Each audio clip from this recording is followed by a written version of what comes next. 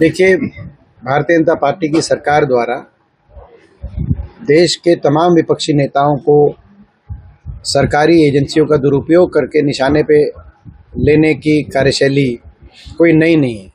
लगातार पिछले कुछ वर्षों में देश की तमाम विपक्ष की प्रखर आवाज़ों को कुचलने के प्रयास जारी हैं। कोई ऐसी पार्टी नहीं बची विपक्ष में और कोई ऐसा मज़बूत नेता नहीं बचा विपक्ष में जिस जो भाजपा सरकार के निशाने पर ना हो। और मैं इस कार्रवाई को उसी कड़ी में देखता हूँ उसी रूप में देखता हूँ। दुर्भाग्यपूर्ण है लेकिन आश्चर्यजनक नहीं है।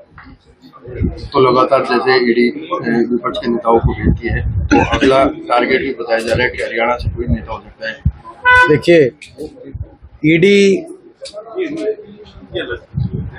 तमाम विपक्ष के जैसे मैंने कहा मज़बूत नेताओं को निशाने पे लेती है।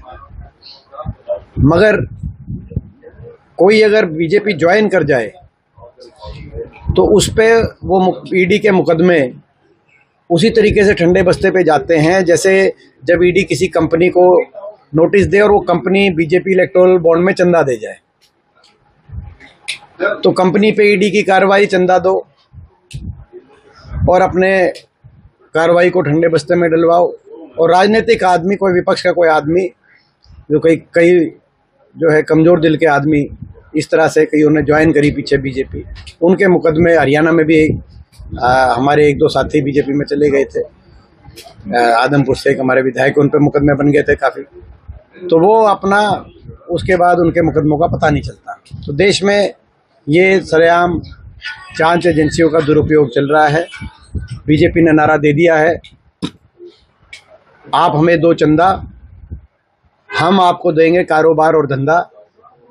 और यदि आप नहीं देते चंदा तो हम देंगे आपको ईडी का फंदा। ये कारोबार, ये बीजेपी का एक नारा देश में बीजेपी ने दिया है।